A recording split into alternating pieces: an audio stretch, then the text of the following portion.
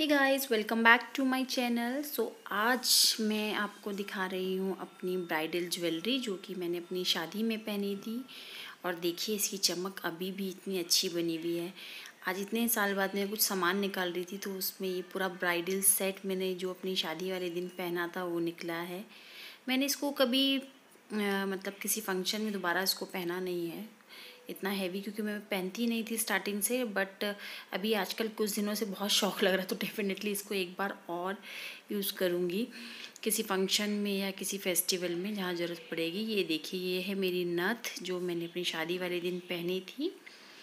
और सबसे अच्छा ना मुझे इसमें ये वाला सेट लगा, जो छोटा सेट जो नेक सेट होता है, वो वाला तो ये बहुत हैवी है।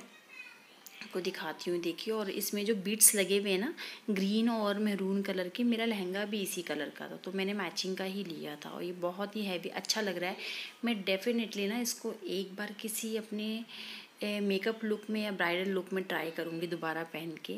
ये मुझे अब और ज़्यादा पसंद आने लगा है। उस टाइम इतना ज़्यादा नहीं आ रहा था पसंद। लेकिन अब मैंने इतने सालों बाद देखा है तो मुझे अच्छा लग रहा है। इसको मैं दोबारा ट्राई करूँगी। और ये है हाथ में पहनने वाले इसको क्या कहते हैं, मुझे तो नहीं पता।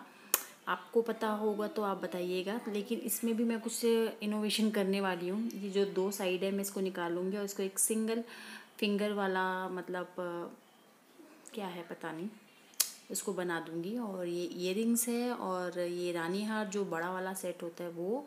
और इसमें एक चीज़ मिस है, वो है मेरा टीका जो कि मेरे बेटे ने कहीं इधर उधर कर दिया है, जो मिल नहीं रहा है मुझे।